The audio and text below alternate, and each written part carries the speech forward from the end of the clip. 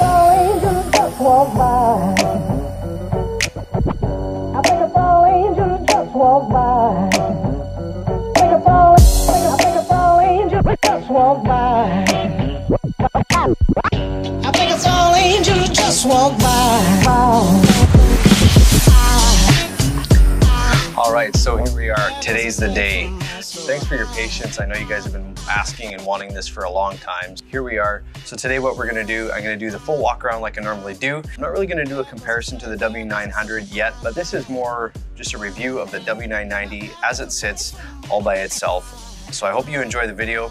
You have any questions or comments, we're gonna do it below. We're doing this one in the showroom.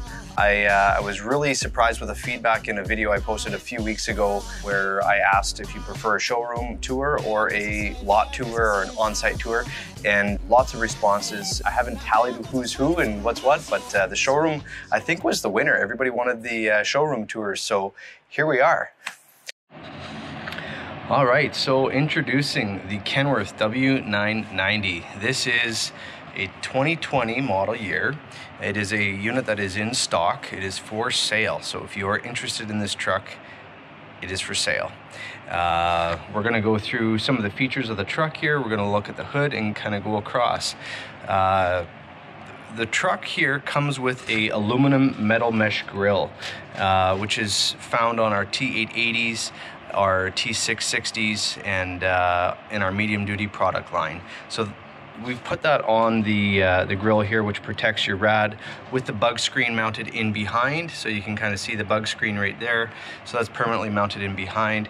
Uh, now going along with the tradition of the W900, uh, we have these extra ribs on the grill. So that really kind of finishes it off, helps to support the grill. And this is not plastic.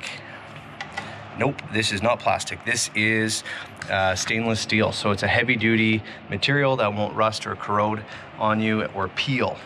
Uh, it has the Texas style bumper and uh, the, the hood has the fenders uh, with a seam running down here so you can repaint the sides if you do uh, cause any damage there. So looking at these headlights, these are a new design. It's actually the same headlight that's on the T880S. Um, I believe. I'm pretty sure that they are because they look almost identical. Uh, I haven't actually verified that, but we'll just go with that for now.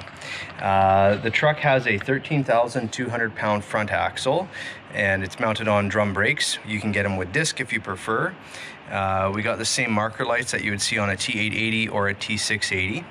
Uh, what's new on the W990 is this hood scoop, the air intake cleaner. So being as it's a 2.1 meter cab, it's a little bit wider than our uh, traditional cabs or the 1.9 meter. There isn't actually enough room to fit the same size of air breather on the side of the hood here or side of the cab. So the new design has come out uh, this has the air intake right here and uh, the stainless with the Kenworth emblem right up in there. So new design. Um some people like it, some people don't. I'm still, uh, it's growing on me. But anyhow, I've seen them actually painted where you can paint them aftermarket and that looks really sharp. I kind of like that. Uh, same mirrors as on a T880 and a T680. You can get them in painted or in the chrome shell, which is shown here. Uh, we have this stainless steel uh, closeout panel similar to on a W900 uh, design so you can have a little bit more chrome on it. We did the polished battery box, polished def cover, polished straps and tanks. Now you can get the 7 inch straps or the 2 inch straps. This truck here has the 2 inch uh, obviously so you can see that. So you have those J brackets that hang down low and uh, if a person wants there is those uh, those chrome panels that you can put down below there which really finishes it off uh, if you have the 2 inch strips. So that's something that uh, maybe the next guy that's buying this truck is going to want to do. Uh, it has the option to get the lights underneath the cab, which we did not do, but uh, you can do that. You can put the lights on uh, uh aftermarket, so that's something that uh, might be able to be done.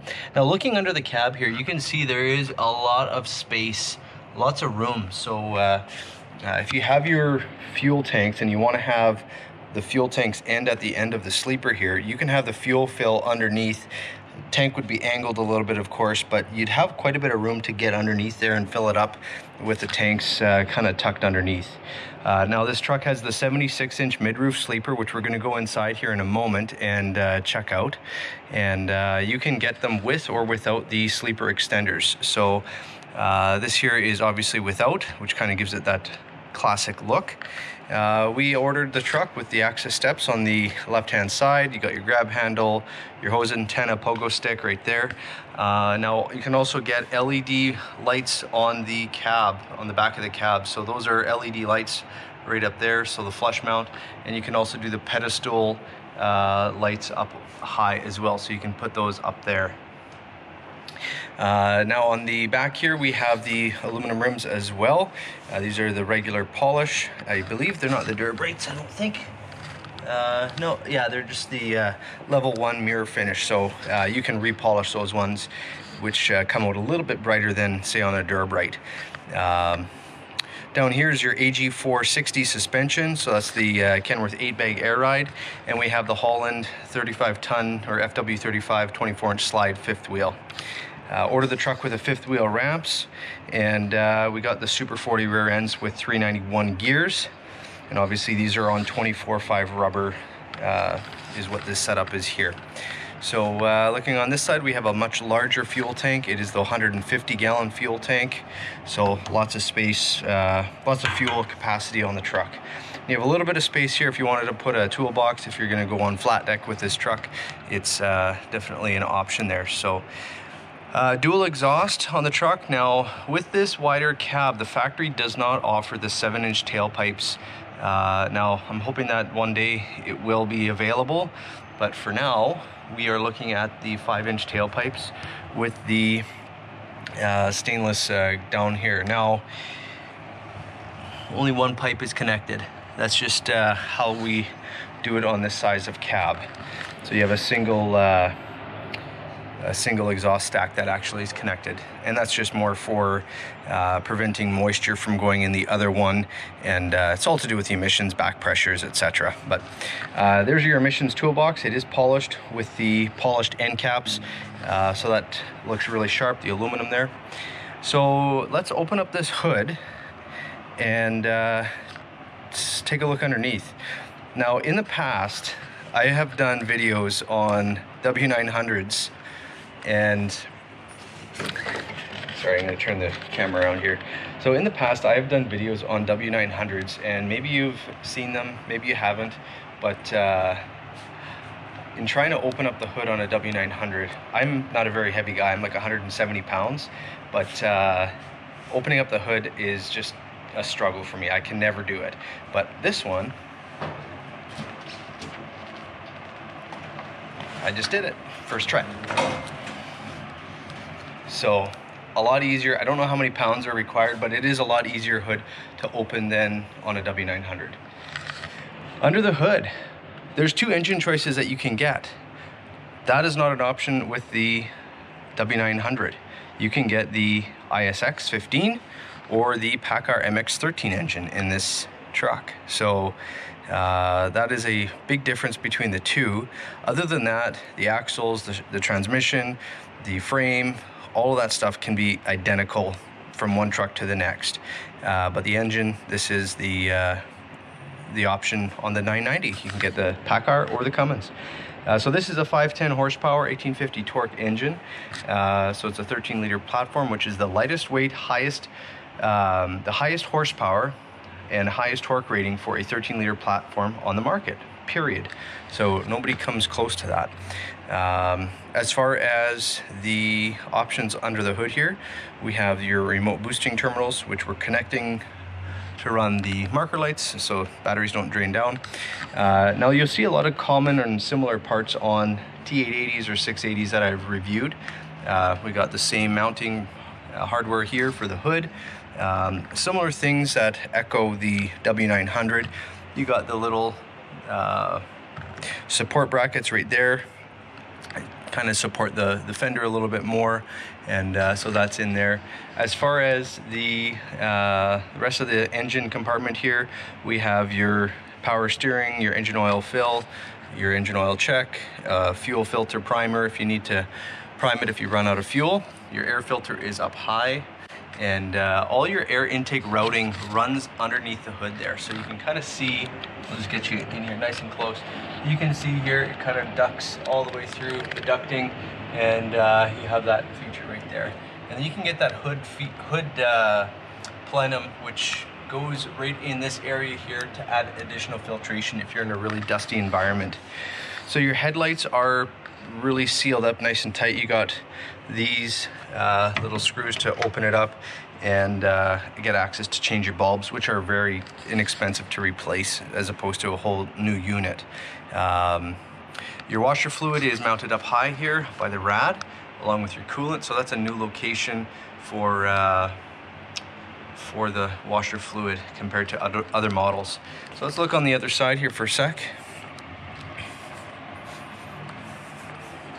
So over here we have the hot side of the engine, the turbo. There's your HVAC system, same components for changing your air filters. And uh, right there, there's a secondary filter that you can get. Let's go for a walk. I'm gonna go for a walk here. I might have those filters outside here.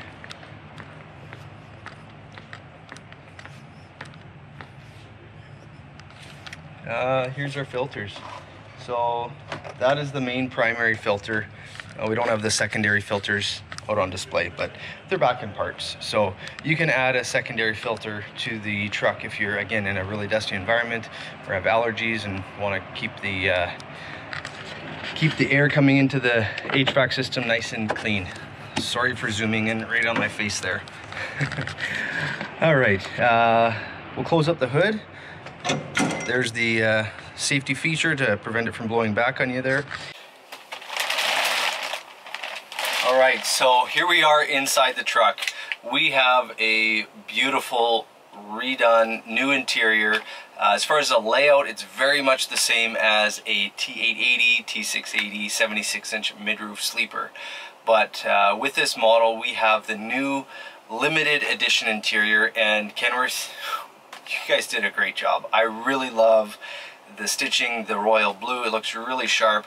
Uh, I'm just a sucker for black on black. Black interiors just look really good and the blue accents just make it pop and finish it off. So let's, uh, let's get right into this here. So starting over here on the driver's side, uh, we have the royal blue limited edition interior the stitching just looks really uh, gorgeous.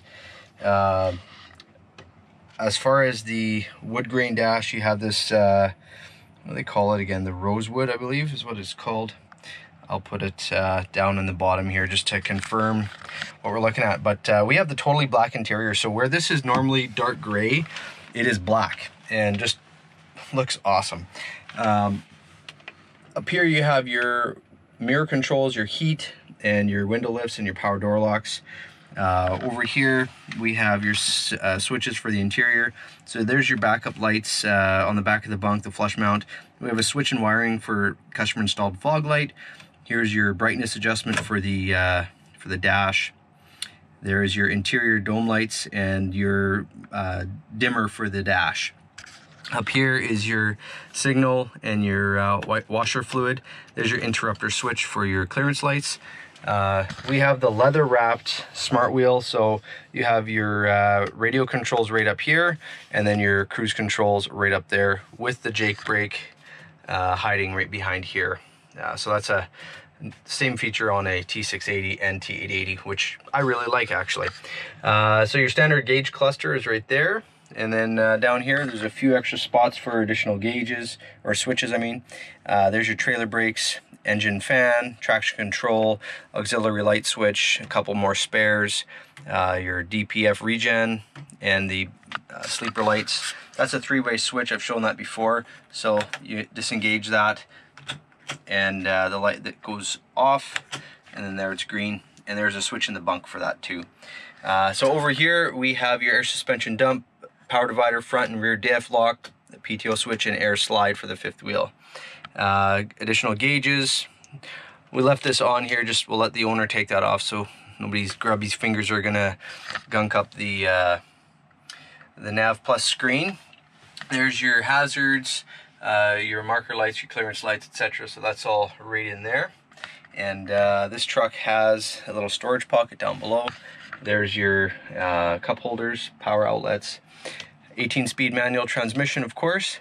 And uh, we've ordered the truck with the uh, best seats that you can get in a truck as far as I'm concerned. These are the GT703 leather limited edition uh, heated and cooled seats. So they're the uh, perforated seats so you get a little bit of airflow inside of them there and they're also heated. And uh, this one here is the swivel option. So I'll show you how that function works here in a moment. But uh, let's jump into the bunk and check out what we got out back there. Just to adjust the cameras here. Okay, so in the bunk here, we have the lower storage shelves. So these are the deep tub style drawers, same as in the common cab, the T880 and the T680.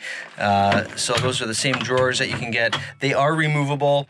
Uh, there's a few latches that you can put under, like just pull the latches underneath and then they pop out. So if you want to bring them inside to fill them up with uh, your clothes, you can do that and then bring the bring the bas the bins back and forth so you're not carrying baskets in and out.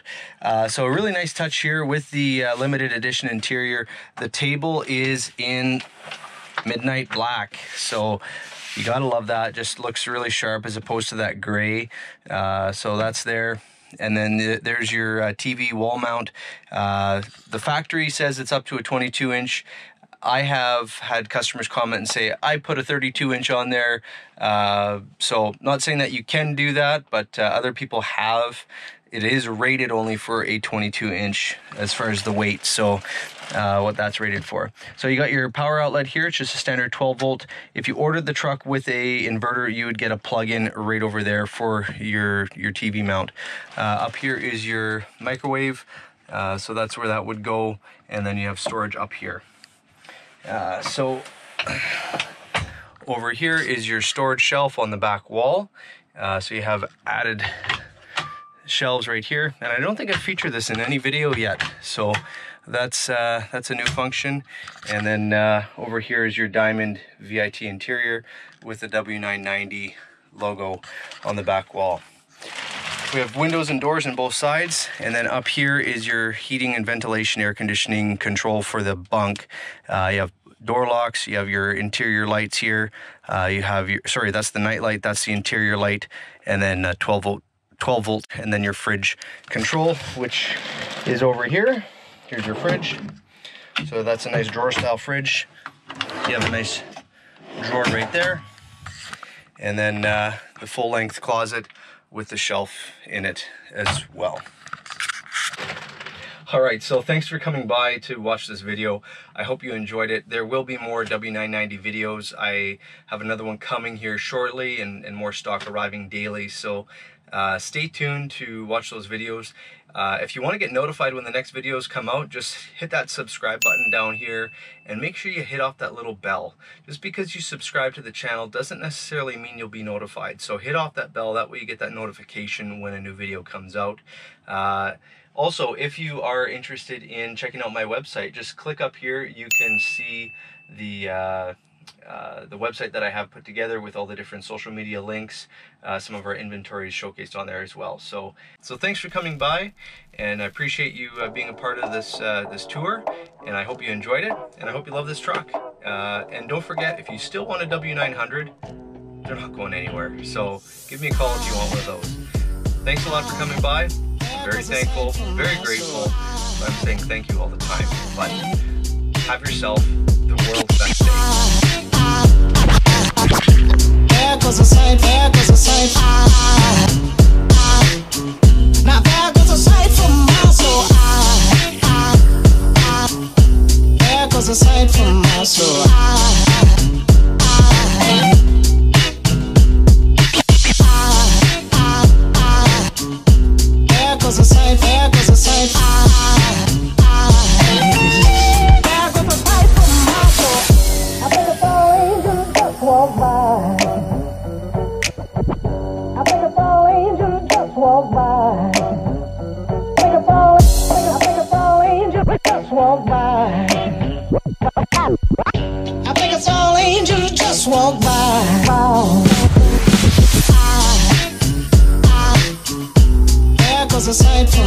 All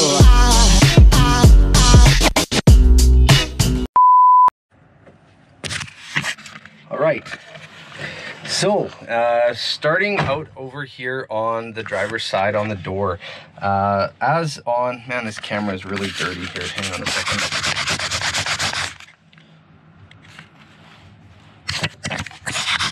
Sorry.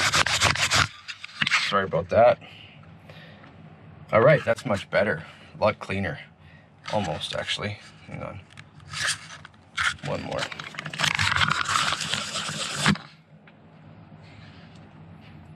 Is that a scratch? Uh-oh. Scratch lens, time for new camera. Anyhow.